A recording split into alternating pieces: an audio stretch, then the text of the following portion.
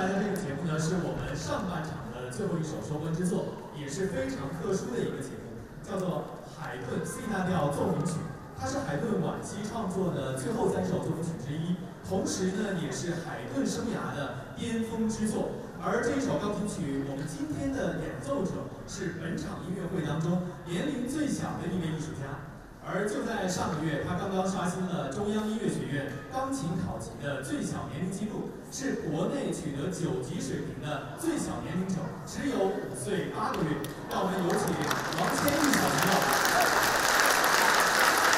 让我们有请王千逸小朋友他慢点的开让我们有请他带来这一首歌叫做海顿 c 大调作品组同时呢非常快乐的时光也是由大明星超级特别